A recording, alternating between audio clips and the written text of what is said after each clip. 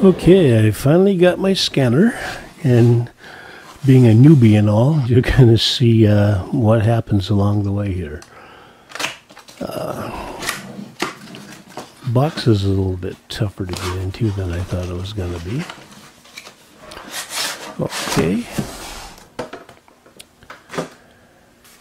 On top, they put uh, all the requisite paperwork. Uh, let's see, we got, uh, looks like some advertising stuff, something for a web page, and then the owner's manual, and apparently one in French. okay, now we get into the good stuff here uh, a battery. I already got one of those with my charger, so I'm not going to have to wait to uh, get this thing running. A little power adapter. And a useless wrist strap. And BNC adapter. And looks like the power cord. Man, I hope that's a data cable as well. Uh, for what they charge for this scanner, it better be a data cable. That's all I have to say. But that might be another video down the road. Uh, belt clip.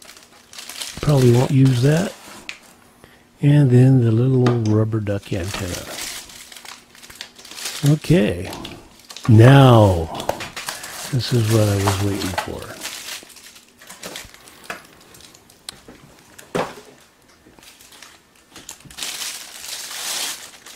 It's a little bit lighter than I thought it was going to be. And the battery case is uh, a little tougher to open than I thought. Uh, I think I'll use the key on that later. Yeah, we'll come back to that. I'm not going to fight it because I heard they're fragile. Okay, so I'll take the battery that came with it, drop it in the charger, and uh, grab my battery, put it in, and we'll come back in a second here and uh, do part two. Okay, I turned on the scanner. Now it's asking uh, apparently 20 questions. Yeah, what's the time, time zone? That's easy enough to do. And I guess you have to use the buttons. So it's 22.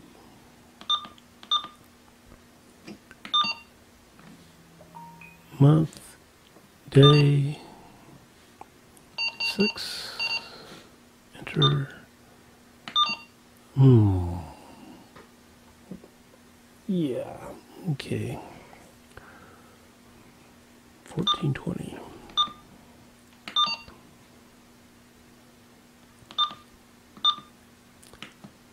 Okay. Well, apparently there's nothing to scan. Uh, well, there's this little button here. It says zip services. I guess I'll give that a shot. Uh, it should be fairly easy to set that that up and at least get uh, some scanning in. Okay, USA. Now it wants my zip code. Okay, pardon me for a second.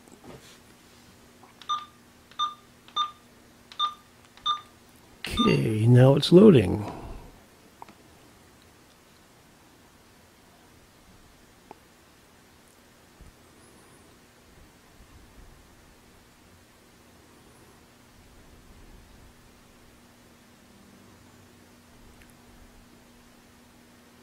Doesn't seem to be uh, all that slow on loading it. Oh wow. That's it. I'm up and running amazing. Uh, now I'm going to have to learn the the other stuff on how to do things like actually program the sucker. uh, but you can see getting it out of the box, setting it up. Doesn't take uh, much time at all. It was under five minutes. So uh, if you want to get one of these and get to scanning right away, you can use the zip code. Uh, most guys later on, as they learn, uh, use the software and stuff. But so that was my uh, unboxing and newbie video on the Uniden SDS 100. Hope you liked it. That's all she wrote. See you later.